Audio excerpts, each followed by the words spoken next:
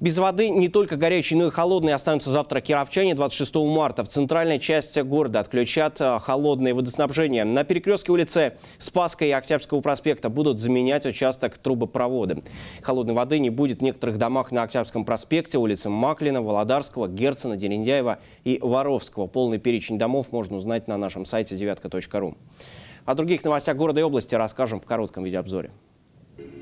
Кировские полицейские вернули церкви похищенную два года назад икону. Изображение апостолов Петра и Павла в октябре 13 года украли из Вознесенской церкви поселка Суна. Тогда по данному факту было возбуждено уголовное дело. Недавно украденную икону обнаружили в доме скупщика предметов старины в Архангельской области. Позже задержали и группу из четырех человек, которые подозреваются в серии краж из церквей. На днях святыню вернули в нашу область и передали настоятелю Вознесенской церкви поселка Суна.